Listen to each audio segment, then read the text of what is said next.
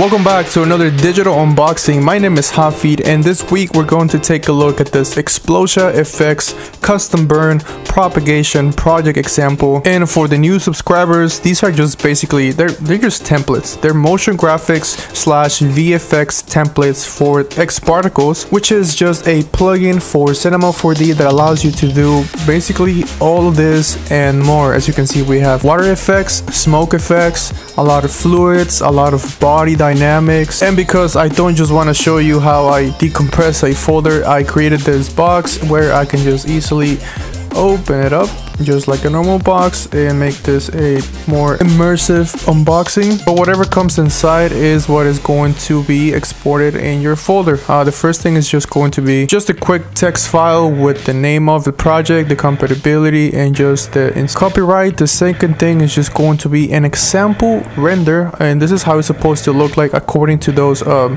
compatibility software. We have this really cool burn coming out of like this rectangle. We got like blue and purple fire, a lot of smoke, and as you saw in the example, it's just animated. So this is this object is reacting with the smoke. Okay, so I'm gonna move this over and we can see our simulation if we zoom in. We have a preview of what the fire and the smoke actually looks like. I think this comes with the newest version of Xparticles.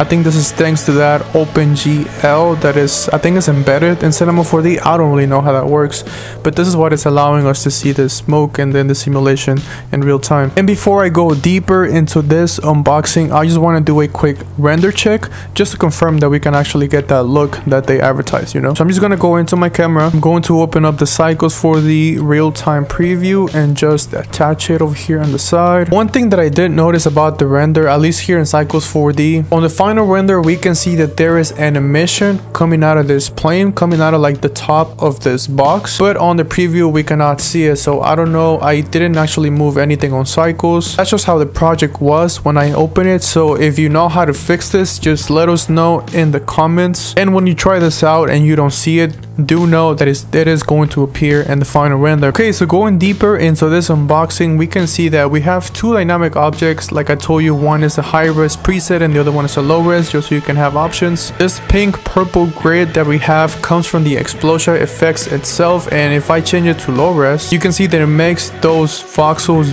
bigger, just so we have that lower resolution. Next thing that we have is just the utilities themselves. No emitters, no generators, no modifiers. We have a group of utilities and here you can see that they actually call the object a mobile phone animated which kind of gives you a hint that you can probably use this simulation if you want to animate a cool shot of a phone or just any product that has this tablet shape I feel like you can easily just like drag and drop it and just run the simulation without having to change much you know? We also have this fuel emitter and this bottom burner and both of them are the uh, disactivated on the viewport and on the render port. The last thing you should know is that if you want to change the color of this quickly, just go to the material itself. The first one is this object material. This is what is assigned to the phone itself. And I feel like the most important part is this emission node, which is going to give you that glow on the screen if you're going for the phone um, animation. Again, for some reason it doesn't show on my real-time preview, but on the render itself, you are going to be able to see it. So here's where you can change the color of that emission. And the other material that we have is just for the smoke itself. As you can see, this gets very complicated, so I'm not really, I'm not capable of teaching you this, of showing you this off. But usually when you select a material over here on the right, you're going to be able to change the color. So just set it up over there. But another thing about the material itself for the fuel, this is an emissive material. I think we changing the color of the emission. So if I set it up to black,